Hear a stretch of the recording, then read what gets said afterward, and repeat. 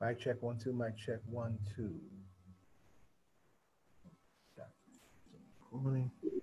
Okay. Okay. We are live. Well, a, screen is doing something. Wait a minute. We're almost live. oh, Facebook is loading. Let Just give it a second.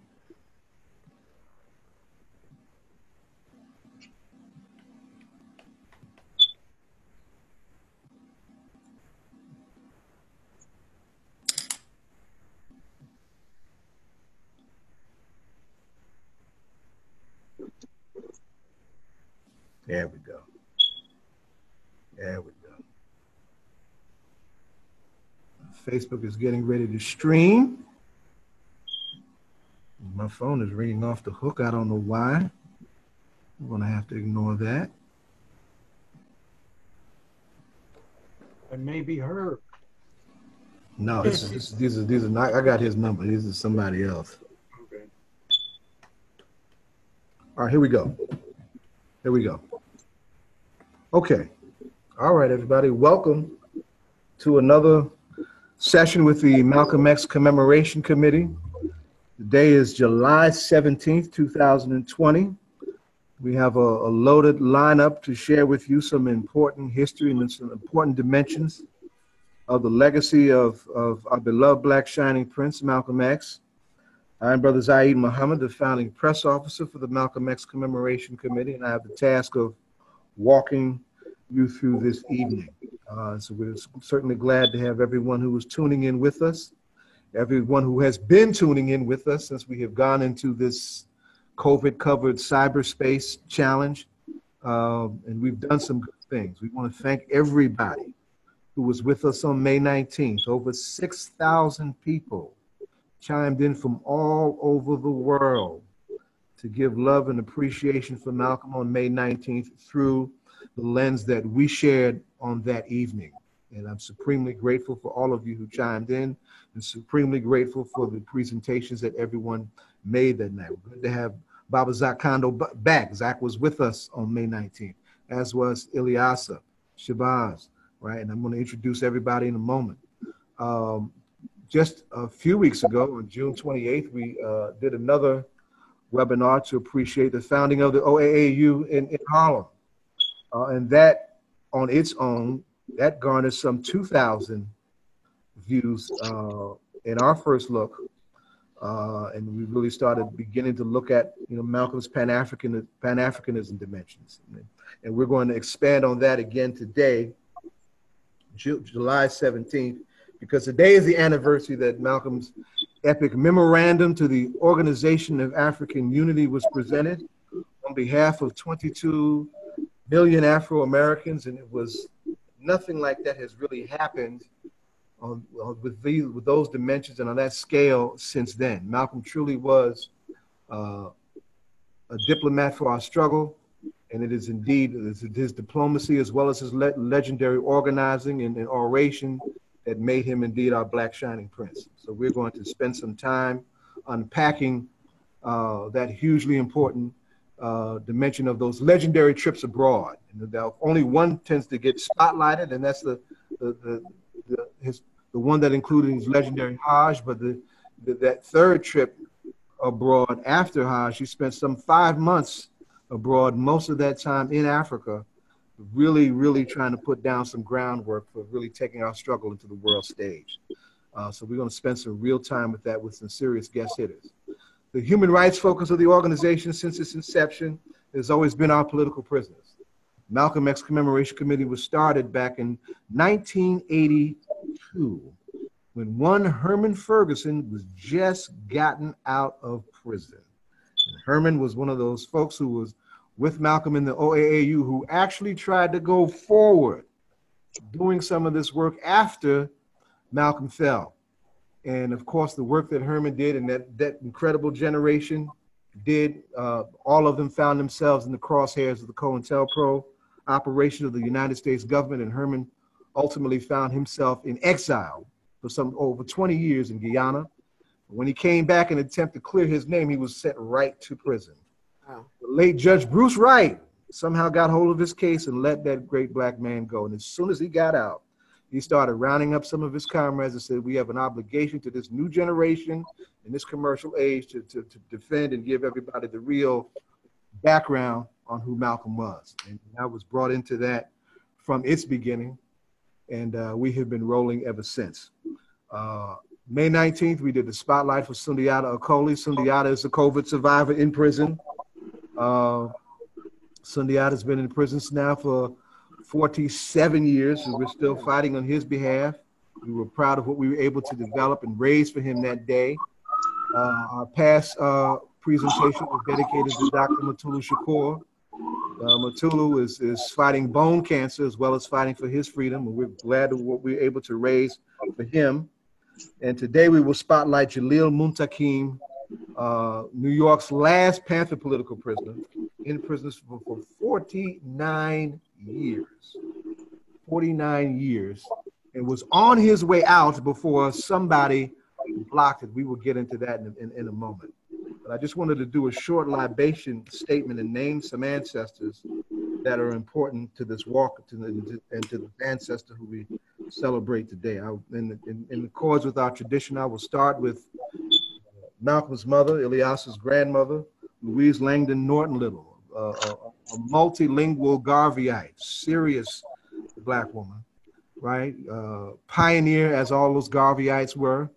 His father, Earl Little, uh, brave, strong black man who stood up in, in, the face of some of the most dangerous times to be a stand-up black man in this country. At that time that they were adults and trying to raise a family.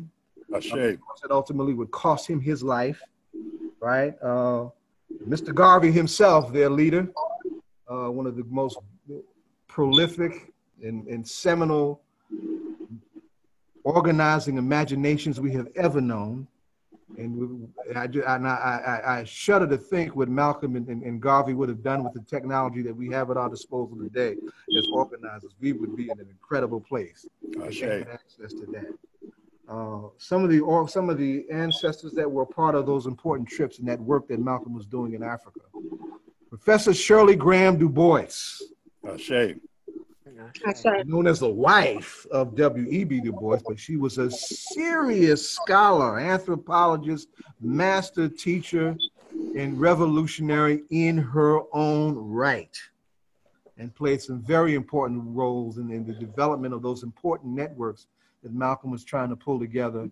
And that picture that Alice Windom has given us of him and Shirley together is a classic and a very important moment. Her son, David Du Bois, who was in Egypt at the time, and of course, this memorandum was delivered in Egypt, right? And, and, and David was a part of a network of, of, of African Americans who were in Egypt at that time, and including Elijah Muhammad's son, who was uh, that who had also come out against his father's old teachings uh, who was a student at Al Azhar University um, at that time. And, and, I was actually trying to reach David around the time he passed away to try and include him in some of our presentations. Um, Vicki Garvin, oh, Harlem legend. Uh, and some of us in this, in this panel actually knew Vicki quite well. Vicki was a part of those conferences that, that Professor Abdul Alkalimat and, and Bill Sales put together some years ago. But Vicki goes back to the 40s with the Robesons of the land, and, and, and, and you know, was a legendary organizer. She was very much in Ghana and between Ghana and China during that period, and is and is an unsung Harlem legend in terms of our Black radical tradition. And and and Maya Angelou was probably oh, the best known out of uh, all of those folks who were involved in that time. And Maya was quiet as it's kept, was getting ready to relocate back to the States to help Malcolm organize the OAAU he was taken from us. Maya is one of the few folks that can say that she worked with Malcolm and with Martin. And of course, just when she was trying to get in gear for each of them, they were both taken from us. Um, just a minute ago, we lost Nelson Mandela's daughter, and that's my generation. Shame. I think that was a bit of a surprise.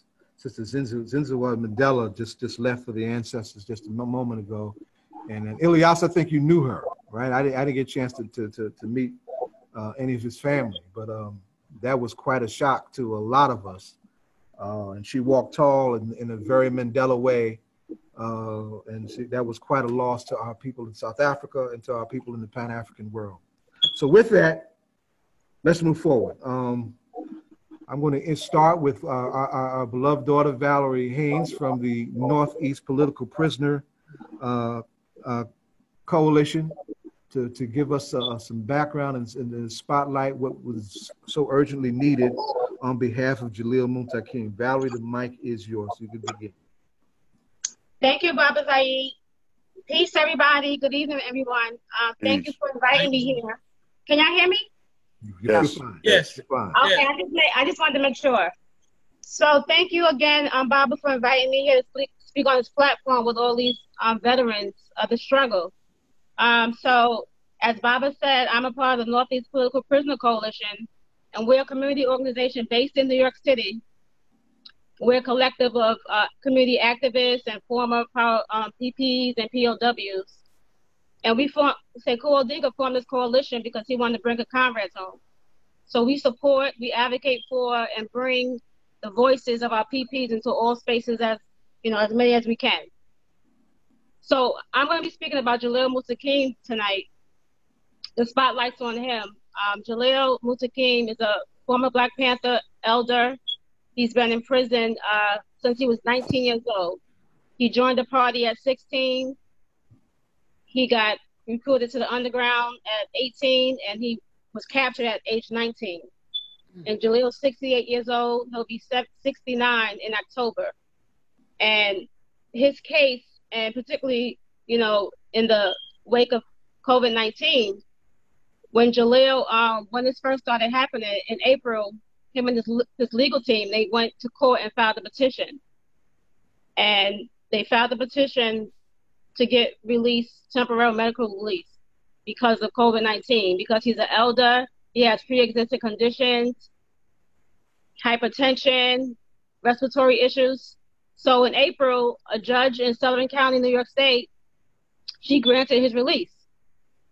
However, his release was blocked by Attorney General Tish James, a black woman who, uh, you know, she's um she was um elected by the people, you know, and her whole platform was built on civil rights and human rights. However, she blocked this man from coming home. So uh, the New York New York State Department of Corrections, um, they were able to keep him in prison, and he's back in prison, and he still has COVID nineteen, and he's suffering for the repercussions of that. So right now, we have a major campaign. We have a couple of major campaigns. We have a petition to Governor Cuomo because Jalil applied for um, commutation of sentence in October two, 2019 after he, his 13th parole denial.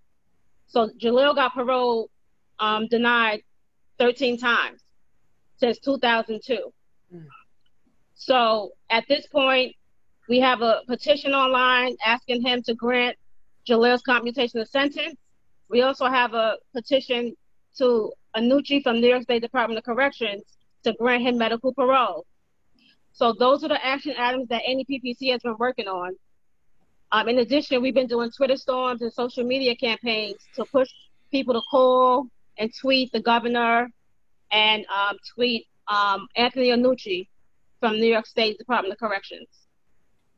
And I believe my time is up, but no. well, no, let's, let's, let's, let's, wait a minute. Let's, let's, let's back up a little bit. okay. How sick did Jalil get? We understand that his lung capacity has been compromised considerably. You, you, you're at, you're at liberty to talk about that. Okay. We need to really understand how, how serious this is. Okay. So just to show you how serious serious it it is, when Jalil was denied the um the temporary medical release on April 27th, they sent him um his lawyer put in a um a petition to argue the case. And her, she was um the case was argued on May 28th. However, on May 25th, he got rushed to the hospital because he had, he had a high fever, he couldn't breathe. Um, and he had a lack of oxygen.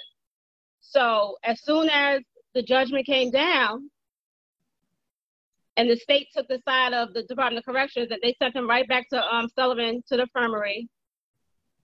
He was not tested negative for COVID, so he's still COVID positive. He's 69 years old. He has hypertension, And now, due to this COVID 19, now he has a thyroid issue because as a result of his infection. So, needless to say, this is an urgent matter. We need to bring Jalil home.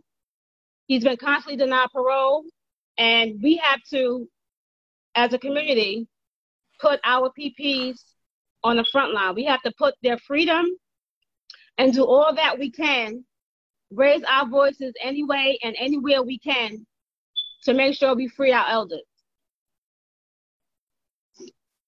Valerie, thank you. Um, yeah, go ahead. Yeah, Bob. Um, on what legal grounds did James um, block his his release? I'm sorry, brother Zak, I didn't hear you. On what legal grounds did she did um, James use to block his release? So, um, Jalil filed the habeas corpus in New York State Court, right, Supreme Court, Right. and so the Department of Corrections said that due to um, the type of the type of petition he filed, the habeas corpus, he said he said that Jalil had no right to file that particular petition, and so because of that, the Department of Corrections said no, he, he doesn't have to be released because this is the wrong petition. So And that's pro- okay. and- and so part- basically, uh huh. So that's a procedural uh, basis. Did the lawyers then re reapply, or they just left it at that? no, what happened was the, the, the judge and the Supreme Court judge, Uh huh. they um they the case was dismissed. Okay. So they needed to re. Did they did they re-petition? No, because it has to be a whole nother petition. It can't. It's like they have to do the whole thing over. So Right. that's why. Right. So that's why right now, our our our position is that we, the people, the organizers, the advocates for Jalil, we have to push the issue of him coming home, because you know there's always the legal And strategy and Right. always our strategy. So we are pushing Cuomo elected officials to release him ASAP. Valerie, how can we support you? Right. Okay, so the way that we you can support us is that we have a petition online, like I said, with color of change, and Baba Zaid will put that in the um. that- In the, Yeah, I was going to tell you to just go ahead and drop it in the chat box. we have a it. petition. Yeah, We have a just drop it in. to do that. It's on our page. It's on the uh, page, and I also on my Twitter page as well. I'm sorry, Zaid. And also we have a, a tweet storm. So we we also would like people to write letters of support for his parole. His next parole hearing is in September. So we're we're asking people to write parole letters to support him. And I'll also put that information in the chat. Okay. Let's unpack that. Let's unpack that a little more, and then, then we can get into the body of our program. Valerie, thank you. You're Jalil welcome. Thank you. is one- is the survivor, the last of the New York three political prisoners. Back in 1971, him and uh, Albert Noor Washington and Herman Bell were charged with the killing of two New York police officers, right? And they were all given life sentences. Uh, we lost Noor, we, we call him Sheikh Noor because he, he developed a very strong relationship with Islam, This is like we you know, like we described here with Malcolm. Uh, Sheikh died in prison in 2000, right? Herman was released on parole several years ago. Uh, these men, when they were in prison, they were model prisoners, right? And and there's there's beyond that, they were COINTELPRO targets who were framed for what they were charged with. That's, we need to be clear about that. But be, beyond that, they did their time. They did their time, and they should have been released, right? Before Herman was released, he was attacked by six correction officers and was subjected to a beating that nearly killed him at 69 years old, right? Because they knew his release was looming, right? And and their attack, of course, was minimized, uh, but he ultimately got out. The outrage that came from law enforcement quarters over Herman's release is is is part of what's blocking Jalil's release, right? This one got out. We're not going to let this one get out. So we basically have law enforcement along with some old racist baggage in the courts, resentencing uh, our political prisoners to death by abusing parole. Most of our political prisoners who have been in on this walk with the Black Panther Party and, and similar formations have done their time. and just as a matter of law should be released. I got a lawyer in the mix. He can back this up, right? So, so, so, so, so, you know, this is an abuse of authority, and, uh, as was their frame ups. And, uh, you know, our, our community needs to reclaim our freedom fighters so we don't lose any more in the clutches of the state, right? So uh, we will have that information on our page, right? The Twitter campaign is, is every week, right? Uh, Governor Cuomo, for all of the points that he has gotten, uh, becoming a media darling in the face of this COVID crisis in relationship to the monster that is Donald Trump. Let's let's let's deal with Mr. Cuomo and his baggage, right? Mr. Cuomo had all of the sanitizing equipment and, and, and, and material and, and hand washing and whatnot, all that made by prisoners, but hasn't released a single prisoner in a place where this thing is festering like no other place it could fester. And there, there's a, this is a there's a there's a national campaign to release aging prisoners who are at risk for this disease with all of the pre-existing conditions and who pose no threat to society and who have done their time. He has not released not one, right? So, so while we are giving him a pass in relationship to Mr. Trump, we need not be too generous because there's some things that he can do that are contradicting his liberal profile, to put it mildly. We are angrily disappointed with Letitia James. Letitia James is Attorney General for the state of New York because of people like Jalil Muntaqim.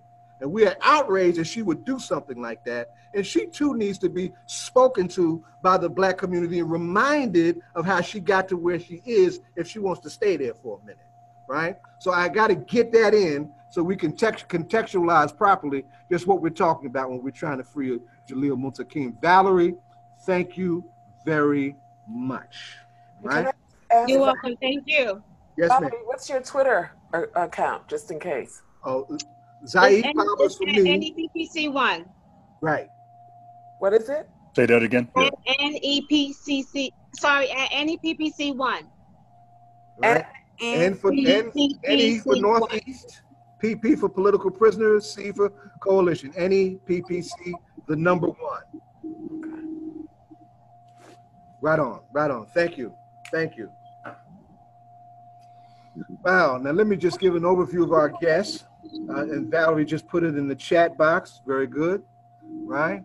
Uh, Michael Ferguson just joined us from from our organization. Well, his father, Michael's our treasurer. Right. We're still waiting for Herb, Mr. Boyd, uh, with one of the long distance runners on this pre presentation. now let me just just go over what we're going to do to, tonight. Um, I have as a special guest co-host King Downing from WBAI. And King, of course, is a history long, long that goes long before his newfound relationship with WBAI and the morning show.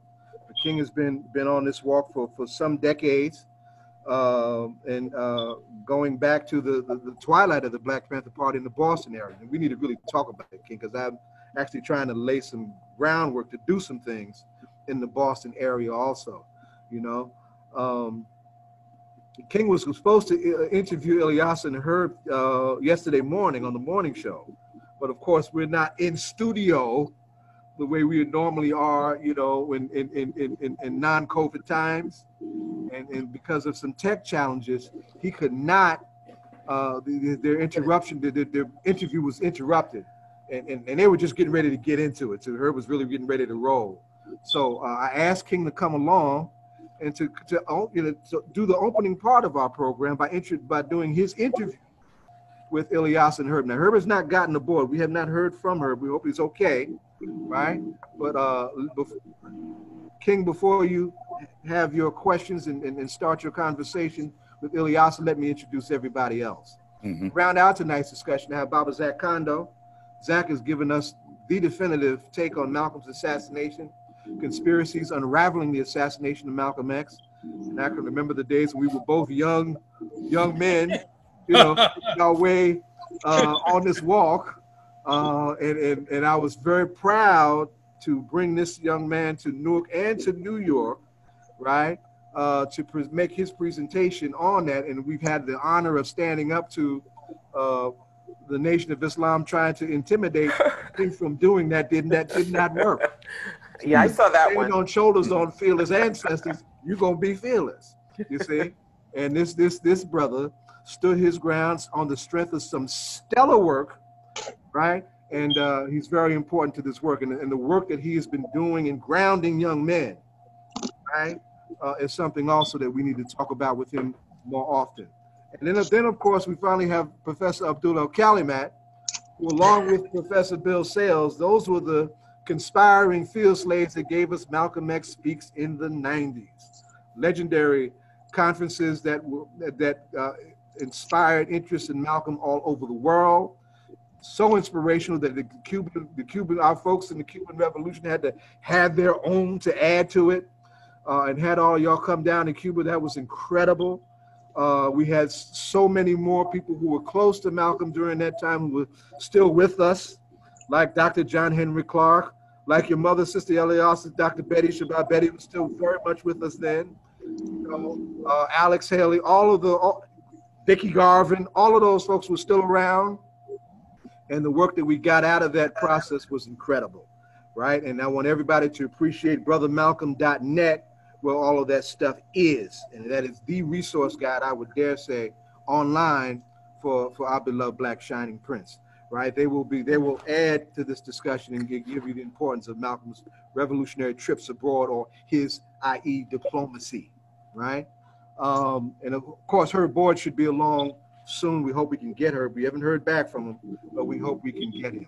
So, um, Ilyasah Shabazz was just about to step. five five books in the last six years output has been incredible right this i really appreciate what you've done right?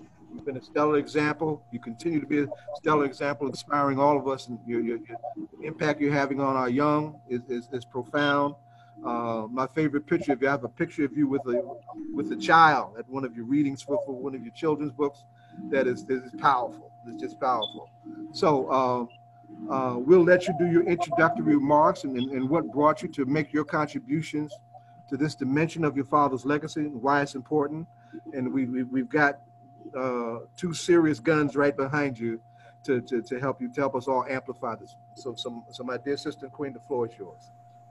Well, first, I want to say that it's really such an honor for me to be in the presence of each of you. Um, you know, I'd like to say that it's like minds. Uh, you know, I think it was Abdul, Professor Abdul Alkalimat, who thought that we were all the same age. but, um, you know, we're close to it. But it's such an honor to be around strong, empowering, uh, informed brothers and sisters that's doing the work. When I was, for as long as I can remember, mentoring young girls um, while in high school and then in college and, and then as a professor, uh, what was important to me was to see young people um, have the opportunity for self love. And it was something that my mother gave each of her daughters. And it is the reason why I set out to do children's books. I mean, I, I did do Growing Up X um, and another book, but it was really important for me to have Malcolm Little as a book for young children, young people, to just open up a book and see a, positive reflection of themselves, and also to put my father's childhood in proper context. And um, and really that has been the reason that I've done the work that I have because I realized that there were you know it's funny when you grow up in your household you think everyone is like your parents you know and then when you discover that they're not you know it, it it's it's such you know it's a rude awakening and when you realize that the world is so complicated it is even more of a horrific awakening. And, and so, um, and likely why in my older age, now that I'm coming close to your age, brother um, Abdul, that, that it's important for me to, to be in the company and the presence of um, people like you. You know.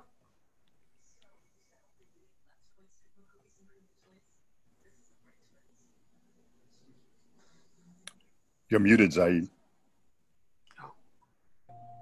Um, so I want you to, you know, just just just, just go.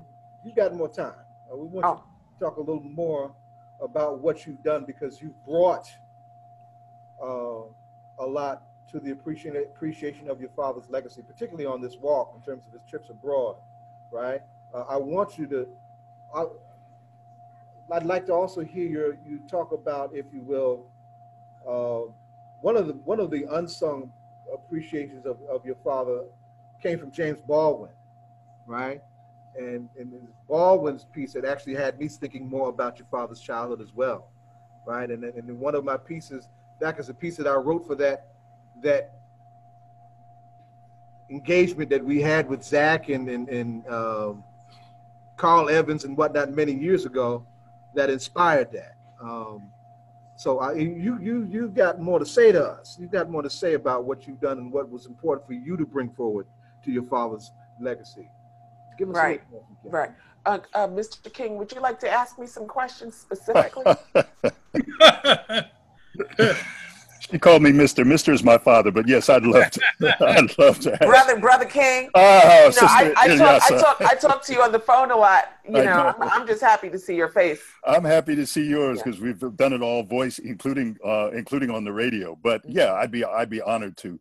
Go So uh, first, first, I wanted, of course, to say it was great to talk to you again, and I'm sure you've experienced this. But it seems to me that people are drawn to you. I mean, they're really drawn to you, and of course, they're drawn to you for your works. And we have talked about them, and we're going to talk about them in the future. I think they're also drawn to you to get a glimpse of Malcolm X and to get a glimpse through your life, but also through his life and the fact that you had that intimate contact with him. So I wanted to focus right in on the on the diary and the section that dealt with his international travel. What was your impression when you first looked at or touched those pieces? Okay. So, um, Zaid, are you listening? So now you know what the, the issue is with the diary. We were going to allow um, Brother Herb to Yeah. talk about it.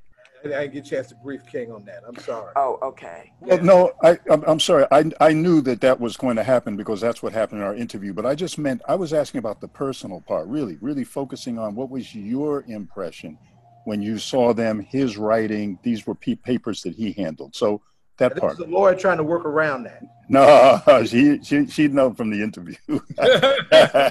Always blame the lawyer until you need one. That's the way it works. Well, I, you know, that's real. Again, that is not. Yeah. Yeah. Yeah. But what I can say is, um, you know, to think of this young man who made such an enormous contribution and impact globally. He was only in his 20s when the world learned of him, and he was 39 when he was gunned down. And that was 12 years to make such an enormous in, impact. And, you know, when I made my Hajj, when I went abroad, I thought that, you know, I had to put it in perspective, put it in context that here my father grew up in the Jim Crow era when Black people were called Negroes, right? Didn't know who they were, were, were very much uh, mistreated, um, you know, to the highest power but struggling with having human rights, his human rights recognized in America, and to, I was grateful that he was able to go abroad and experience his manhood, experience his humanity, you know, be honored, be respected uh, amongst um, other leaders, or the other global leaders, dignitaries, heads of state.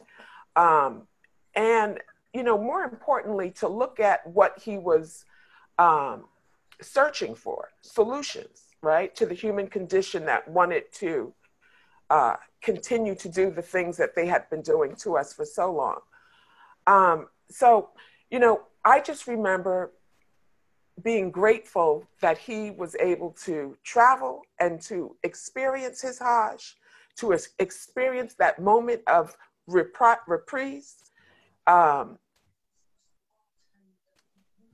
to say the least.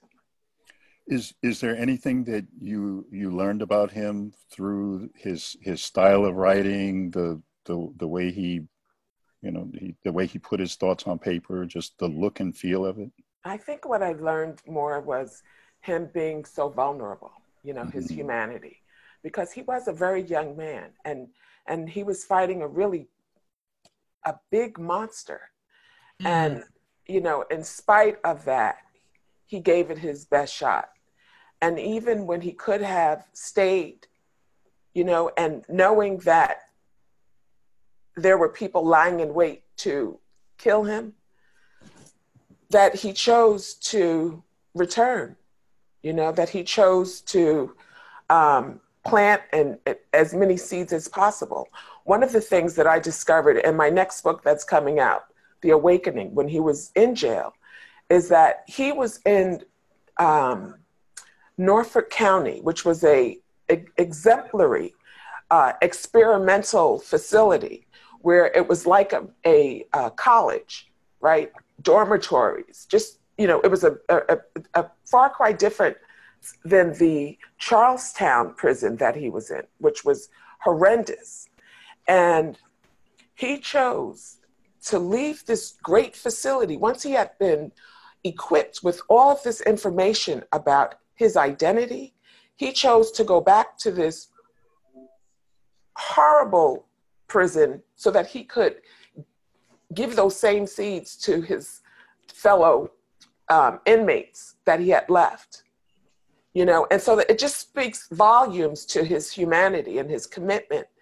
Uh, so for me, it's always seeing his humanity and and and and understanding that Look, he was 39 years old when he was gunned down. So what about when he was 30? What about when he was 32 and 35 and walking alone after he left the Nation of Islam?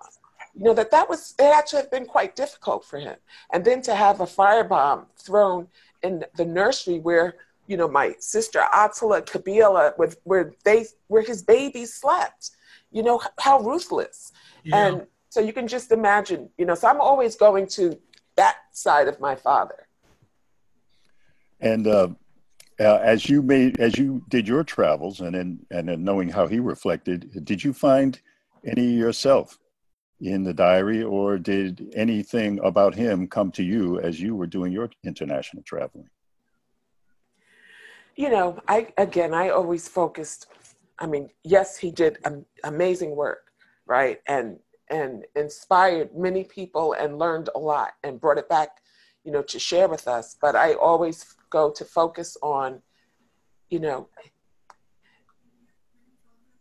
his, his sense of loneliness, you know, feeling like he was alone in the world.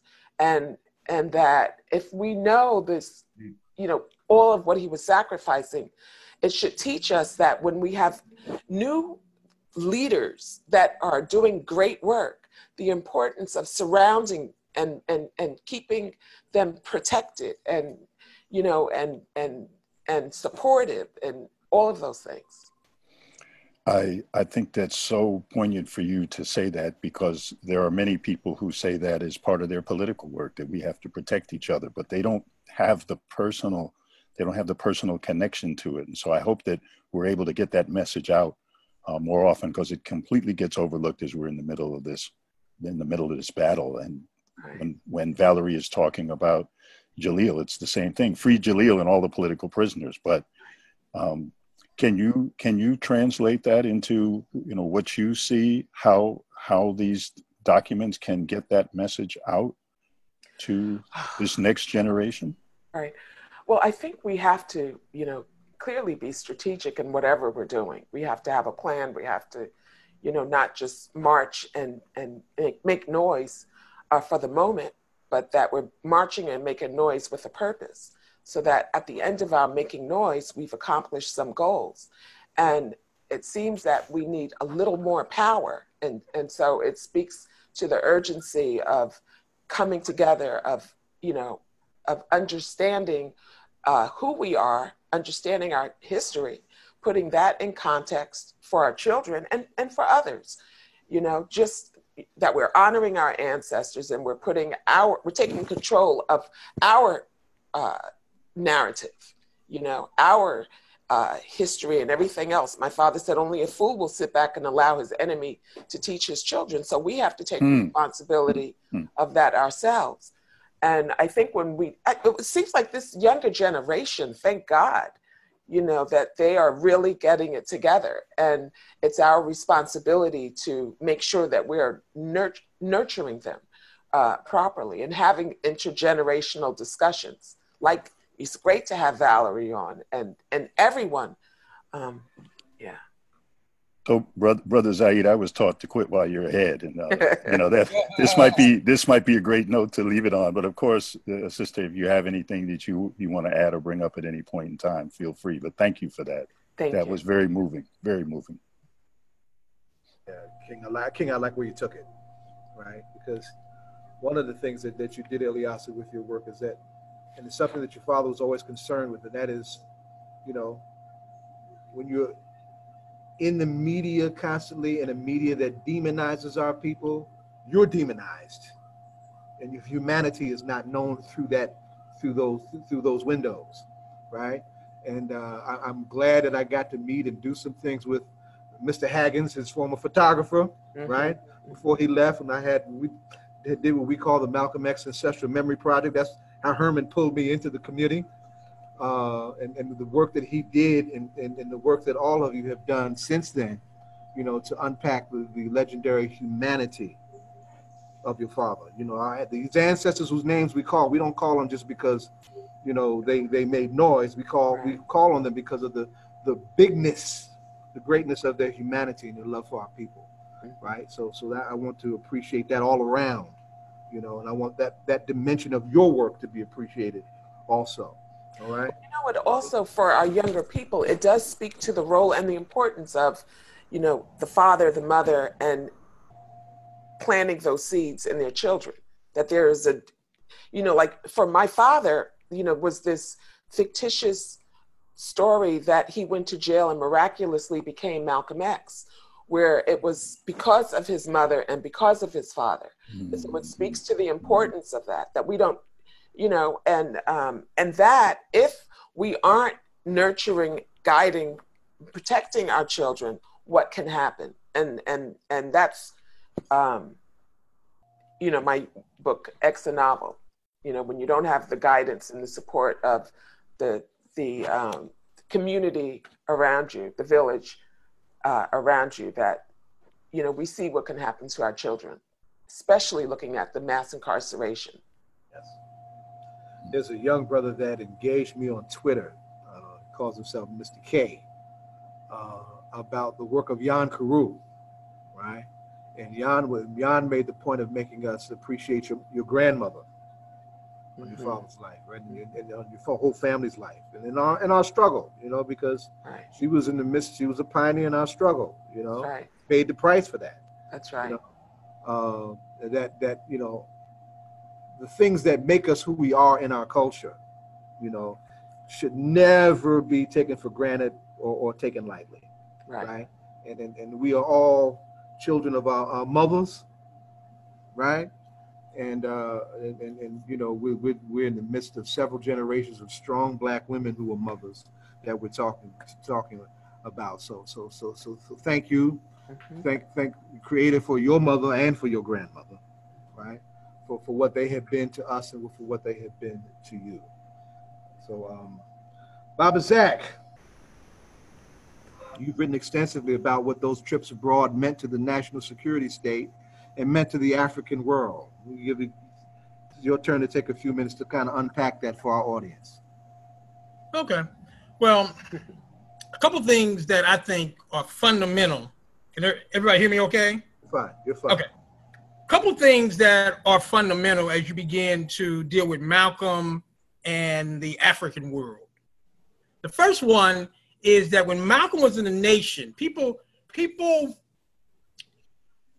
people probably didn't realize this, but you know, Malcolm had issues with the Asiatic origins of African people that was part of the mythology, if you will, of the Nation of Islam. And, you know, if you study Malcolm's speeches, you know, going all the way back to the 50s, you know, he talked about that a lot less than other ministers and other, you know, officials. And I think that the reason that we need to bring this to the fore is because despite the Asian centeredness of the Nation of Islam, Malcolm always had an African center. And I think that's why he he pretty much kept that part of that, you know, of that, you know, ideology kind of like under under wraps. The other thing that I think we also want to mention, you know, just as a fundamental element, we talk about Malcolm X, is that Malcolm did not embrace Pan Africanism once you know after he left the Nation of Islam. Malcolm X was was a Pan Africanist before and while he was in the Nation of Islam, and in many ways that created some of the problems that he had with Elijah Muhammad, because Elijah Muhammad was not a Pan Africanist. Elijah Muhammad didn't, you know, had issues identifying. In fact, I remember uh, when I was doing some research years ago, I remember I came across a an article that was published. If memory serves me, it was it was it was it was June 1968 in Muhammad Speaks. And what he was basically doing was he was chastising. In fact, truth be told, I think it was actually June the 28th because it was the same day that the you know OAAU was founded. But at any rate, he was chastising in the article. Elijah Muhammad was chastising his followers who were wearing foreign outfits. And the foreign outfits were African clothes, dashikis, head wraps, things like that. And in his mind, those were foreign clothing as opposed to it being part of our historical heritage. Well, Malcolm, you know, that was the Nation of Islam, that was Elijah Muhammad, but Malcolm's consciousness when it came to identifying with Africa, when it came to identifying with, with Pan Africanism, was much different than that, even before he left the Nation of Islam. So, anyway, those were two fundamental points that I wanted to make. The other thing that I also want to make, which I just technically is probably fundamental as well, is that Malcolm and I think the diary showed this real well, and the way that you know that uh, you know y'all edited did a good job of this as well. Is that keep this in mind? Malcolm maintained a very interesting dualism when it came to Islam and when it came to Africa. And you know, he looked to the Islamic world for his religious and for his spiritual development, but he looked to the African world politically, economically, socially, culturally. In other words, the African world is where Malcolm recognized we as a people needed to embrace, needed to identify with. So when he was in, you know, Africa for so many months, you know, during 1964, Malcolm was basically building those bridges with Africa. He didn't look to Saudi Arabia when he was dealing with, you know, issues that involved African people in the United States. He looked to African countries. He didn't have conferences with some of the Arab leaders, you know, who he embraced as his brothers because of Islam he didn't have conversations with them about the plight of Africans on a serious level. He had those conversations with the Nkrumahs, with the Sekou Touré's, you know, with the Azikiwe's, with the African leaders, because Malcolm understood that as much as you know Islam was important to his development, when it came to his people and when it came to basically the empowerment and liberation of his people, he needed to basically stay home. And that's where Africa, you know, with his Pan African base, with his African centeredness, that's where that basically, you know, you know, comes to the fore. And then the other thing uh, that I always like to just remind people one of the things that drew me to Malcolm X was his level of consciousness.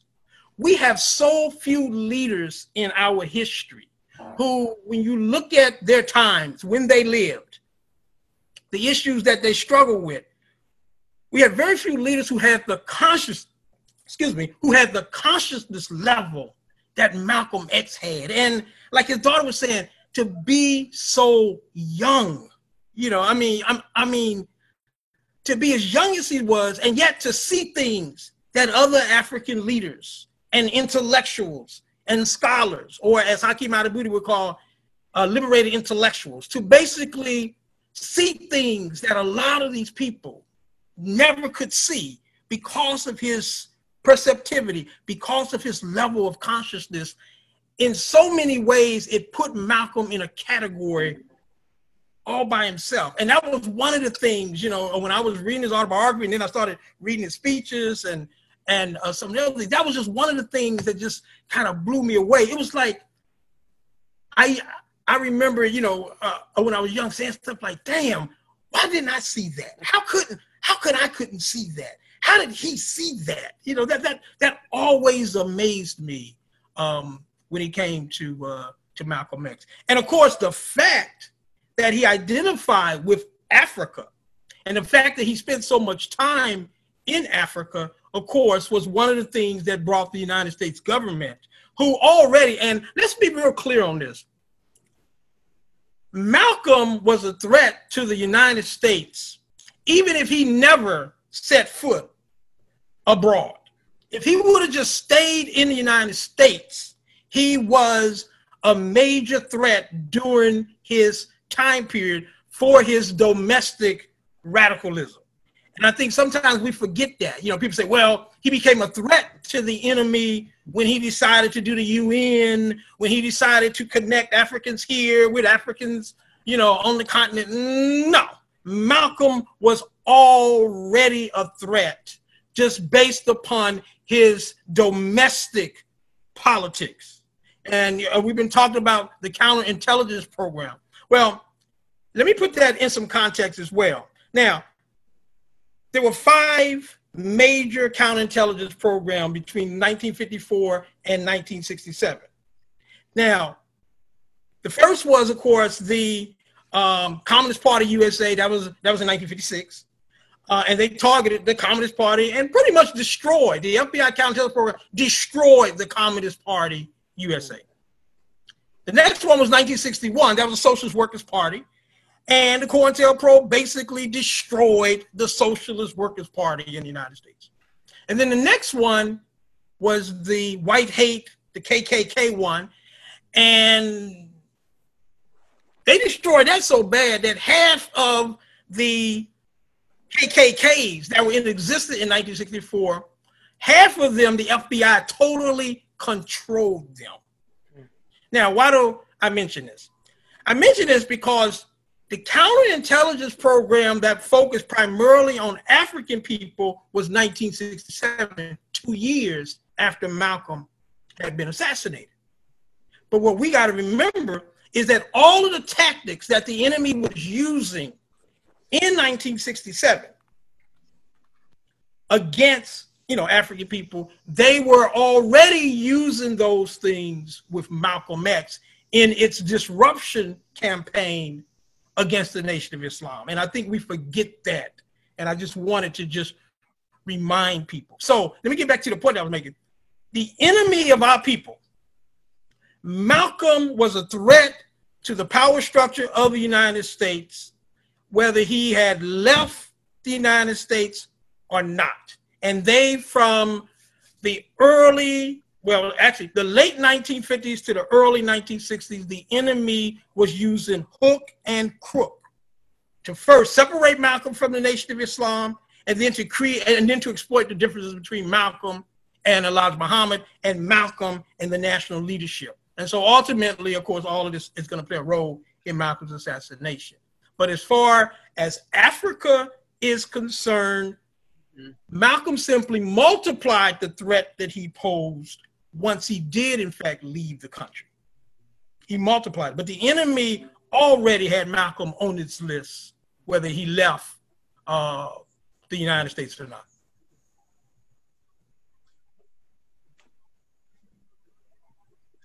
Absolutely. Let us remember that it was his organizing that made the nation what it became.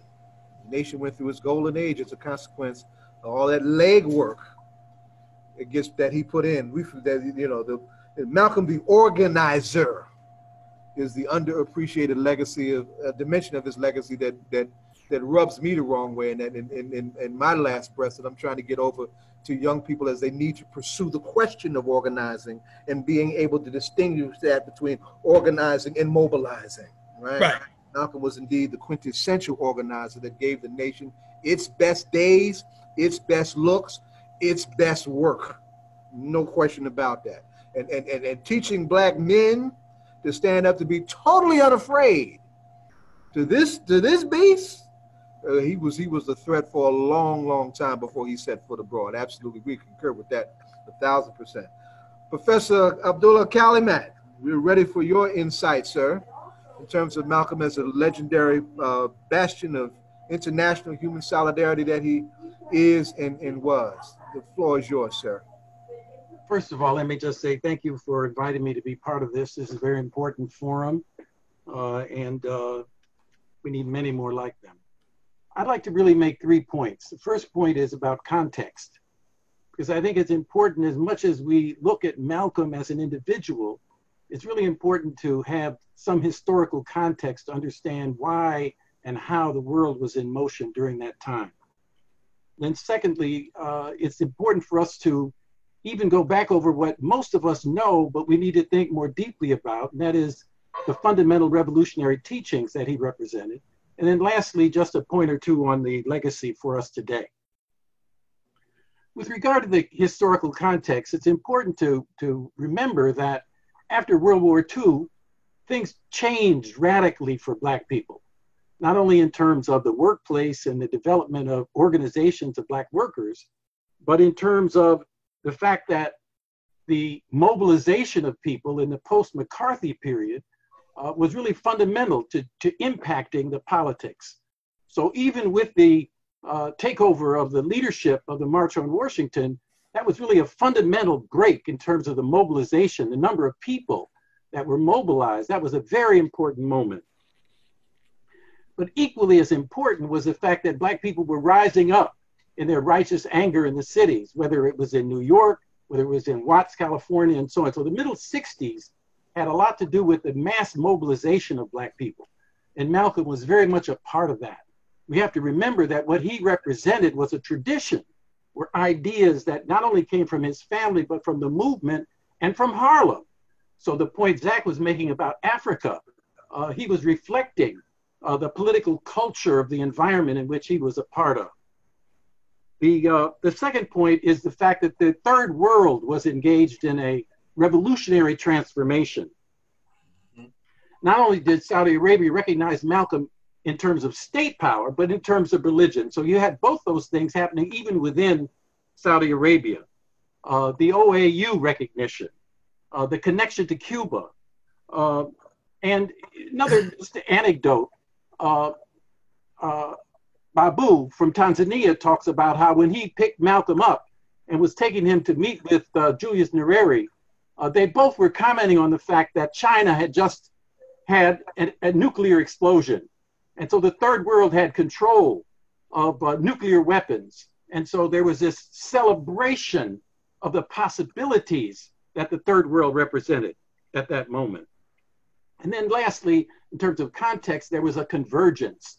The convergence of the civil rights movement and the black liberation forces. They weren't the same, they didn't end up, I, I, I don't agree the idea that King and Malcolm were the same uh, at any point, but they certainly were moving in a direction. And that impacted a lot of us who were active, who saw the importance of mass mobilization. We also saw the importance of the strategic thinking of Malcolm. So we have Black people changing, we have the third world changing, we have the movement changing. And Malcolm was very much an iconic figure that emerged in all that context. Now, in terms of his thinking, I like to think about those three speeches in Detroit 63 Message to the Grassroots, 64 Ballot or the Bullet, 65 The Last Message. let's just take a look at some of the content of that. In Message to the Grassroots, he talked about land and bloodshed. What we can get from this is he was focusing on political economy, to understand the political economy of a society and the possibility of change. And then bloodshed, he was really talking about confronting state power. Uh, now, how do we know this? He directed us to study seven revolutions. Uh, the, the, the, let me just recount them the American Revolution, the French Revolution, the Russian Revolution, the Chinese Revolution, the Cuban Revolution, the Algerian Revolution, the Kenyan Revolution. In other words, revolutions about capitalism, revolutions about socialism, revolutions about national liberation. In other words, he was a teacher of the revolutionary processes and he was directing us to understand something fundamental. The Ballot or the Bullet. In talking about revolution, he's talking about a strategic orientation. The Ballot or the Bullet addressed the tactical understanding of how to achieve those things. And what's really important at that moment was that he exposed us to the limitations of the electoral process. In other words, it wasn't a question of saying, never look at the electoral process. He was saying, exploit it and understand that when you reach the end of that process, there are other alternatives that has must be considered if you are in fact part of this revolutionary transformation that he was advocating. And of course, in the last message, he addresses the whole question of the global situation and returns to discuss his experience with the very leaders that Zak was talking about. In other words, he was really telling us to and helping us to see that each one of those situations had to be investigated. And I think if we go to the Oxford speech that he gave at the Oxford Union, and he starts talking about what was happening in the Congo, uh, he begins to address this whole question of neocolonialism. He addresses the, the contradictions among Black leadership, etc. So it wasn't just a blind, narrow uh, assumption that if you're black, everything's going to be all right. He was really talking about a historical process. And that, that legacy of being an intellectual, uh, but not an intellectual that had a career as an intellectual, but an intellectual activist who was trying to take theory and put it in the context of social motion to transform the society. Which really leads to the last point about what the theoretical legacy is. And it seems to me that theoretical legacy is, on the one hand, the question of thinking about Black liberation, and on the other hand, thinking about class struggle. In other words, when Malcolm talks about being the bottom of the pile Negro, talks about being a field Negro, he's talking in class terms. And those class terms mean Medicare for all. In other words, everybody, uh, freedom for all, housing for all, jobs for all, uh, equality and justice for all, and nothing short of that. And this is something that we have to really remind all our elected officials, all our current leaders, uh, and we have to even remind the people in the street, this current street force. Uh, frankly speaking, uh, I think there's been a retreat. But it's not a retreat that is hopeless, but it's a retreat that has to be encouraged and developed. Uh, so when we get back to the question of Black Lives Matter, who has to be convinced of that? In other words, Black Power, the tradition that Malcolm comes out of, begins with an affirmation of self and a positive appraisal of who we are. In other words, I don't have to be convinced that my mama, you know, is uh, uh, her life matter, my life matters. Uh, but if that's where we have to start, uh, we then have to turn away from the audience being the oppressor and start talking about ourselves the legacy of Malcolm to me is not only in us who are here present, but we have to think about the League of Revolutionary Black Workers from Detroit. We have to think about the Black Panther Party. We have to think about the African Liberation Support Committee. We have to think about that revolutionary thrust that constantly happens when we bring the Black liberation movement together with the anti imperialist class struggle aspects to really begin to confront state power. Malcolm became an icon along with Che Guevara, along with Mao Zedong, along with uh, the uh, Chris Hani and other forces in Africa.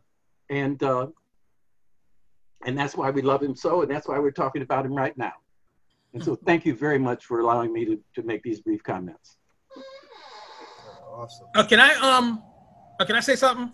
Sure, sure. And Yeah. I'm, gonna- I'm gonna have Torrence come in and I'll let each of you do your, your, your clu- concluding remarks. Okay, Now, actually, it's, it says more on a on a personal level.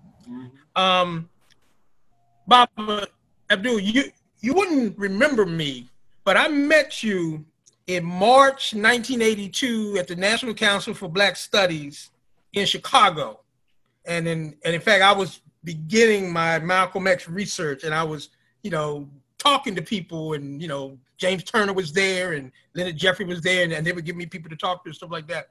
But I remember you were you gave a presentation, and I I, I want to say it may have been a debate because I know um, there was a debate between Karenga and Baraka, and I think you may have been in a debate as well. But anyway, what I wanted to say to you is that I've not only appreciated your work over the years, but I also view you as really one of the pioneers as far as Black studies is concerned. And, and I don't know if you get that type of appreciation, but uh, you know, you to me, you know, you're one of those what you're one of those giants that I've always appreciated from afar. And so since I haven't had many opportunities to be in contact with you, I just wanted you to to know that uh, this evening. So thank you for the work that you've done for our people.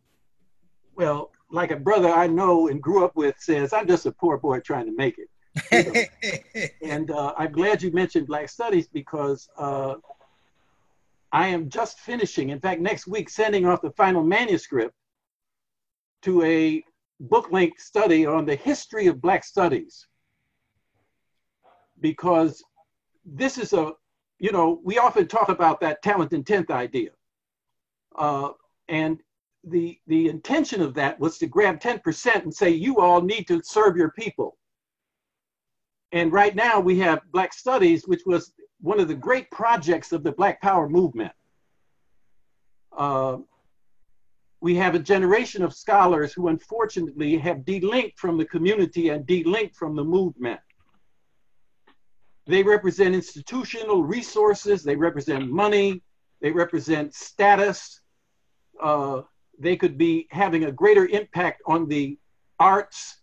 All the Black people in the arts could be supported black intellectuals, activists in the street. Think of the hours of research that Black Studies students do that's unrelated to the actual needs of Black people. Mm. We don't have histories of every Black community. We don't have biographies of all the people that have contributed to the Black liberation struggle who are going to be forgotten. Right. there's so many things that black studies could be doing so you know those of us have a responsibility to tell this story i'm trying to tell something i hope y'all read the book when it comes out next year Let me echo that sentiment, and let me just say this too, because I did a little, an ancestor who I should have acknowledged in the libation statement was John Coltrane, Mm, right? It's the Mm. anniversary of John Coltrane leaving, and Mm. Malcolm and Train were the were the Mm. fountainheads of what we call Black Studies, mm, what we call the Black Arts Movement, and uh, we want to salute what I want. I want to put what what what Zak said to you in Train language, if I could, because y'all Ashe. deserve that. Y'all absolutely deserve it. Right on, Zak, for what you said, and right on, sir, for what you've been all these years. We appreciate that. We echo that 1,000%. Now we've got some groundbreaking stuff we Can I, want to can I ask one question, please? Sure, you can. Hold on. Yeah, Um, let, me, let, me go, let me go on mute. You go ahead. At university now, um, Brother Abdul? yes Which university are you located? university of illinois champaign urbana University of Illinois Champaign, Urbana. and which department are you in? uh, i'm in the african american studies and uh, the information school Okay, because I think, are you also on um, Twitter or? I, I, email is my thing Yeah, well, we're gonna have to get you on Twitter. You should get some of your students to do that. And what about brother Zak Kondo? Zak, where are you located? I'm at Baltimore City Community College. Okay. Because I think a lot of people want to know how to reach you, Baltimore City Community College. Yeah. Right. Yeah, both, both of them are under the radar in terms of you know, you know, virtual reality. You know, but yeah, I, yeah, I agree with you, Elias, on that su- supremely. Now, some groundbreaking work. Los Angeles, Crenshaw Boulevard, Hood wants to claim that wants to claim the Black Shining Prince, That's right? right. Put their name up on on that boulevard, right? Brother That's right. I want you to give us tell us a story about that and how far has that campaign gone, and how can we help you? And there's some things that we want to talk about when we get finished about some things that we can do to help you out. Yes, sir. Well, first of all, I want to thank you. I'm very honored to be a part of this this uh, historic panel here. Uh, very honored to be around such great activists, educators, uh, community people, and uh, it's it's a serious pleasure to be in the company of uh, Sister Shabazz, one of the offspring of uh, Minister Malcolm. I'm here to just say that you know since 1995. Uh, my organization, which is the Foundation for Arts, Mentoring, Leadership, and Innovation, uh, which is Family Inc., uh, started a campaign to rename Crenshaw into Malcolm X Boulevard.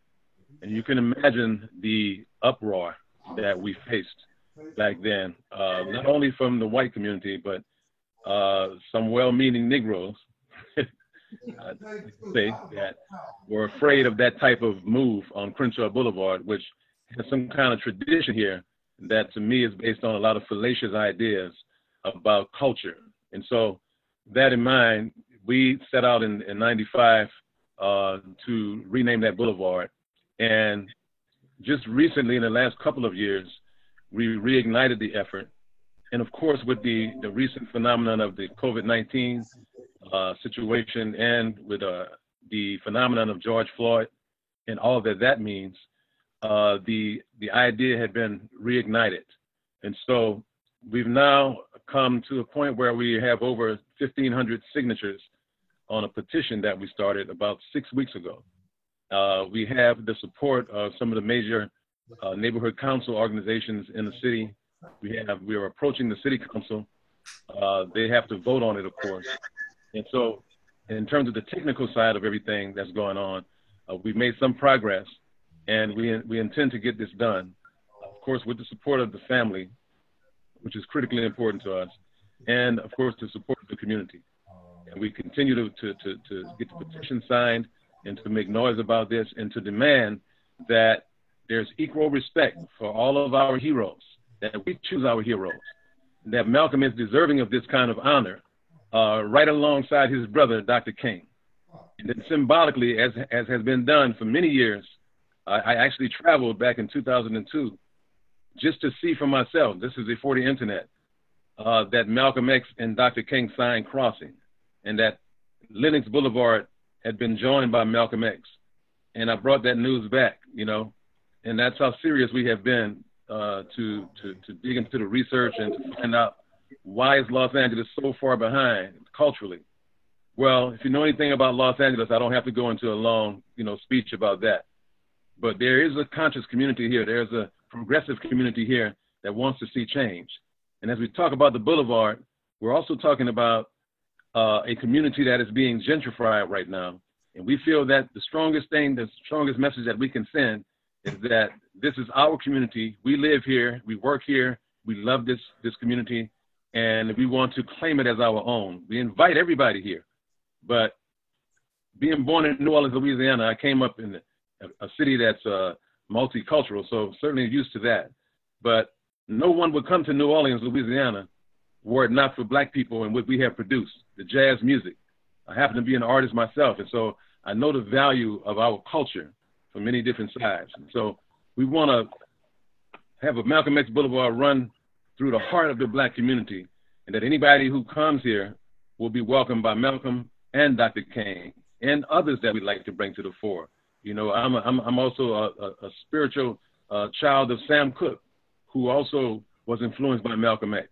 And so we want to do a Sam Cooke Boulevard and, you know, Paul Robeson Boulevard and Ida B. Wells and Harriet Tubman. And so uh, I, I'm just honored to be here and I'm very excited to uh, partner with uh, like-minded people of, of uh, black people of all, all over the world Um, and so I could say a whole lot more, but I just want you guys to know that uh, we're, we're on top of this. We're extremely serious about it, and we've made tremendous progress. But we can certainly utilize and benefit from a partnership in partnerships with, with Black people all over the country who are who are in love with the legacy and the memory of Minister Malcolm X. Thank you, brother. Quick question. I want, I want you to know that um, these web we we're getting we, our our Facebook page, which is the centerpiece for these webinars. We have a very international following. So folks are looking at these from all over the world, right? So so you're going to get some so you're going to get some support from some quarters that may uh, be a pleasant surprise to you. I'm contemplating a West Coast based webinar to, to, to give you some help, to give you some more attention from our end in terms of what we're doing because Malcolm's impact on the West Coast is, is huge. Temple 27 didn't come out of the sky. Right. right? That man took that Oldsmobile, right? all up all across this country, and he took it to Los Angeles. That's where Temple 27 comes from. Right. And let me let me get let me get at this before we do our closing remarks. One of the most fiery rediscoveries of Malcolm's speeches is when he's when he's rallying the community as a coalition builder of community organizations, diplomacy, right, around the killing of his comrade Ronald Stokes at Temple 27, right? That's the background of one of his most electric moments as an organizer and as an orator, right? And as a stand-up person who can bring our people together when we needed that, right? And as we're talking about police brutality now, we we've been battling on that beast for a long time, and Malcolm was one of the first to show us how to do that, right? So we want to bring all of that together, and then with some of that history in, in, in due time, brother. So we got your back. We appreciate you. Thank you. Now, Zak, I heard you trying to get in there. What were you trying to ask? Yeah, I just wanted to ask him who is Crenshaw? Who is Crenshaw named after? Okay, Crenshaw is named after a gentleman called George Lafayette Crenshaw, who was a real estate developer and who was a staunch segregationist who uh, adhered to uh, the restrictive covenants that kept black people out of this community. So he was a racialist. He was a segregationist. He was not somebody who loved black people. And one of the challenges we have is that the what I call the boys in the hood uh, uh generation around the late 80s, early 90s when that movie came out, embracing Crenshaw in a loving way. Right. They don't understand the history. They don't know. They don't know the history of who this man actually is.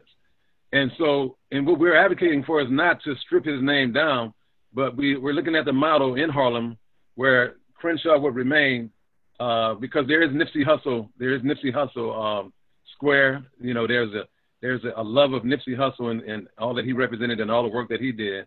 And so we're not going to strip that down. We just want to marry that or amend that and add Malcolm to the boulevard. And that's not asking much. In, in, in, the big picture, that's not asking much, right? In a climate where folks are taking stuff down, you know, that's diplomacy. So that, you know, folks need to wake up and appreciate that because that could go another way if things get hot. yes, mm-hmm. yes, definitely, definitely. So as we do closing remarks, I, I want everybody to think about what it is that we want to take from this moment, looking at Malcolm's legacy, to say to our young folks in the streets about where we should be going next, standing on shoulders like Malcolm's. And I want everybody to hold the date that is August 15th. That'll be our next webinar. That'll be a Black August tribute where we will be dedicating the night to political prisoner Russell Maroon Shoats who is fighting bone can who's fighting um, colon cancer, has been in prison since 1975. So, um, Ilyasah, we can start with you. If you want to give some, some closing remarks, and um, right on up the line. Yes. No, I don't want to give any closing remarks because I'll be back. I want to hear from you know these gentlemen. I'm I'm so inspired, and but I well, and I'll save my question. Hopefully, everyone will be back the next uh, in August, and I'll save my question for that. Because one of the things I would like to know is how do we get our people who are afraid of acknowledging Malcolm, but that's going to be another time, who are afraid of acknowledging Malcolm to do so.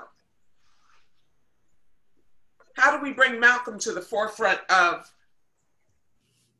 our work and understand the importance of it? We've been down that road before. We, yeah, we've been down that road before too. So that's that. You know that how he, the cycles of history come and go, is is is is to be appreciated. Yes, man. Baba Zak, you want to give some final some concluding remarks? Yeah. Um. Let me um. Let me say something about the question that you had asked, and then I I think I'd like to you know also chime in if if it's okay with with what the sister just asked. Um, your question, Baba, was how can we we give it a message to the young people today? Oh, that was your question. No, but it's a good one. Oh, it wasn't. It wasn't the question. Yes. That's great. That's yes, that's yes. It was a serious question. Right.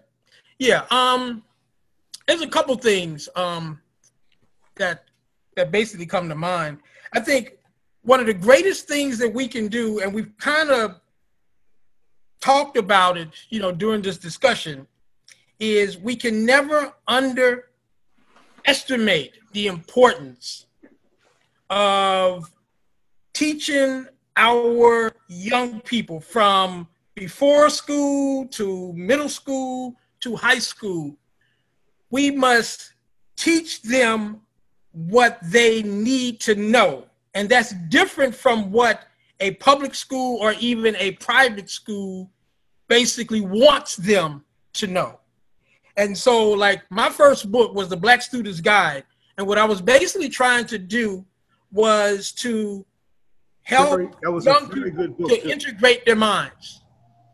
To basically, in other words, what we got to keep in mind is education is a tool that a society uses to orient, to train, to basically condition people to follow certain values, certain principles, practice certain cultures, subscribe to certain ideals. And this educational system here in this country is not designed for us. It's designed to basically miseducate us. So the best thing that we can do right now is to be sensitive to the importance that our young people know the things that we as a people need them to know. And if that means basically, you know, just just pulling people's coattails, we never know the things that we say to young people, you never know what resonates. That's one thing that I've learned. You know, I've met people 20 years later and they say, you know, I went to one of your lectures and you said something and blah, blah, blah, blah. Yeah, I don't remember saying it. But the point is, and people, you know, and, and I can attest to this because people have said that to me. You know, I've heard somebody and they inspire me. And so the point is, is that we must be basically vigilant and diligent in, you know, talking to our young people and saying what we can to inspire them to be serious Africans. Right on. Ashe. Ashe. King, I'm gonna throw you in this mix. You got you got something to say. You ain't no rookie. You got to say something to these young folks too. Let me unmute here. No, I appreciate it. I want to thank you for uh, for uh, bringing me on here, and I want to thank everybody who uh, participated. And uh, I have I have three quick ones. Um, the first one is I want to go right to Ilyasah's point, and that is that I feel that we must humanize Malcolm. I think that he he was deified, and for good reason. He his uh, strong external persona was made very clear but I don't think we ever got a chance to feel in, in, contact, this generation, I'm saying, get in contact with a human being, because I think that tells young people, yes, you can be a Malcolm too. You can, you can personify him in your work every day. And then you are, you are his legacy. And so I, I really feel for that, Ilyas, and I want to, uh, we'll have more conversations about how to humanize and personalize him. The second one is that we must raise up and we must encourage youth culture. And right now, there is a lot of independent art, a lot of independent hip hop, independent fashion And we are not putting any of our finances or resources into that. And we're expecting them to somehow not be drawn into the corporate structure when we haven't brought any economic mm. any economic challenge or competition to draw them towards a collective way of doing and commercializing art. So we've got to reach in our pockets. We know our pockets are thin, but you should see what theirs are like right now. Most of them are unemployed. Even the ones that went to college are out here with nothing. So we have to make sure that, that we encourage that in a real material and financial way. And then the last part is to uh, also raise up Malcolm X's international legacy because people, this part, and I'm so glad that you brought attention to this, this is the part that has not been given a lot of coverage. He visited these countries, the respect that he got, and how having an international perspective is important, even now as we're seeing the movements that many of us had a chance to benefit from subconsciously, even around the world of liberation, is beginning to happen in earlier ways than what we saw. And if we can connect young people to their international perspective, they will take leadership the way Tahrir Square led to Occupy. So thank you again. Thank you, sir. Uh, Professor Abdul Alkalimat, your, your, your remarks? Yeah, I'd, I'd, like to just uh, make two points. Uh, one is about the word respect, and the other is about the word literacy you know, one of the great impacts of the Nation of Islam in our community was often the way in which they were taught to respect people. And I remember using the word sir with regard to black people. That was like magical because nobody was regarding black people as sir or mister. Uh, and uh, and respect for women and just respect in general. And uh, something I should have said at the beginning is uh, I have a lot of respect for everybody on the panel, and especially and feel honored and privileged to have an opportunity to have a face-to-face with Ilyasah. Uh, so I, I, I, value this experience very much. Uh, you know, we're killing each other. You know, there's all kinds of reality to a negative way in which our oppression comes out against each other. You know, we're taught to be against each other. We have to really struggle with that amongst ourselves. And lastly, this question of literacy in the 60s, I think there was more popular literacy among Black people than there is today. And one of the things about Malcolm is in his study groups, they read and studied many newspapers, the Peking Review, they, they read and studied material, studied. Uh, and they didn't just study Black people, they studied the world.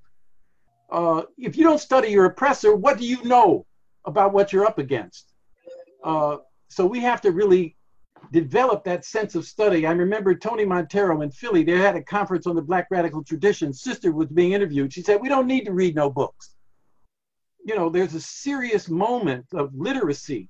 Uh, no people that are not literate can be free. And so uh, we have to respect each other and we have to be literate and study uh, to get free. Thank you, sir. I'll, I'll, I'll, conclude with, with these. Uh, Leonard Jeffries would call this a pyramid analysis. So this is this is dialectics in the African language, all right? Uh, for our kids who are in the streets, right? All of our the, the full dimension of our movement needs to be studied. The civil rights dimension, the direct action campaigns, and all of those strategies, right? And then the Black Liberation Movement, the internationalizing of our work and understanding the national or the, the, the dimensions of self-determination that is important in our work. And we need to come up with a, a, a synthesis in order to move that forward, a, a, synthesis to move that, that forward on that, on that third leg of that, that pyramid, because we can learn from each branch. Each branch of our struggle has, has things that we can use at particular times in places that can help us move forward, right? Secondly, you know, we had freedom schools in the civil rights movement for our kids. We had liberation, OAU had liberation schools for adults and for children that taught them culture and politics. We need to take those spaces that we have for our kids and make sure we are giving them as much culture and as much information and as much organization, as much training as we can in leadership that includes self-defense training. That includes self-defense training And I ain't just talking about martial arts. I'm talking about every dimension of self-defense that's necessary for people who need to stay alive in a country that was built on two genocides. Right? So uh all and, and that's I'm about to go crazy. Let me let me let me bring it back in. So bring it back. I don't know how to get right, but uh, but yeah, I mean, so so so so we we're clear on the shoulders that we're standing on here, Mhm. but we're standing on Malcolm's shoulders and everything that is associated with those broad and incredible shoulders that he had, and, and we intend to and we intend to continue to continue to carry that on. We want everybody to hold August 15th for Black August. Uh, we're trying to figure out September, and in October we were talking, just sharing some ideas before we actually, you know, went live. We want to tighten those ideas up and really move forward, and uh, we want this to this to continue. We want everyone who's watching this use these as community political education. That's what it is. PE, as we called it for over the years, right? These this is these are political education tools that you can use, and everybody who is involved here is available to help you shape your own tools within your particular sets or organizations that you're trying to bring together. That's what the elders are for, right? Even those of us who are young elders, right? Which would be all of us. Yes, ma'am, right? Each one of us. So with that, we want to thank everybody for tuning in. We want everybody Absolutely. to stay on the one in terms of the work that you are doing in your own respective lanes, places, and times. Uh, we look forward to the work that we want to build on, supporting each other. Terrence, we're, Torrence, we're really looking forward to what we can do to help you in Los Angeles. Uh, and if anybody's got a link on, on, on two elders who I'm trying to track down, I want you to holler at me. Elder Oba T'Shaka and Alice Windom. I'm trying to get hold of them badly. So if anybody's got a, a link, Ilya, you do? Right on. Uh, it looks like Torrence has a, a link maybe to. Um, O- Oba's been on the West Coast for years. And, you know, he's, Yeah, and he's I- been one of the pioneers of Black studies. And his the political legacy of Malcolm X was one of the first important books coming from our community after the assassination that has been forgotten about that needs to be rediscovered. He's a master teacher, right? yes, brother. I have I have his phone number. If it hasn't changed, I have his phone number. Right on. Let's do it. Let's do Right, got to go. I have his email address going back about five years ago. yes, right on. Okay, so yeah, so so the work is in front of us. You know, forward is the motion. We appreciate everybody. You know, and we'll see you the next time. We'll see you in the whirlwind. Thank you, everyone. It's I'm looking Alright. forward to it. Take care. Bye, everyone. Yes. Everybody be safe. That's it. I say, I say. hey, Lo.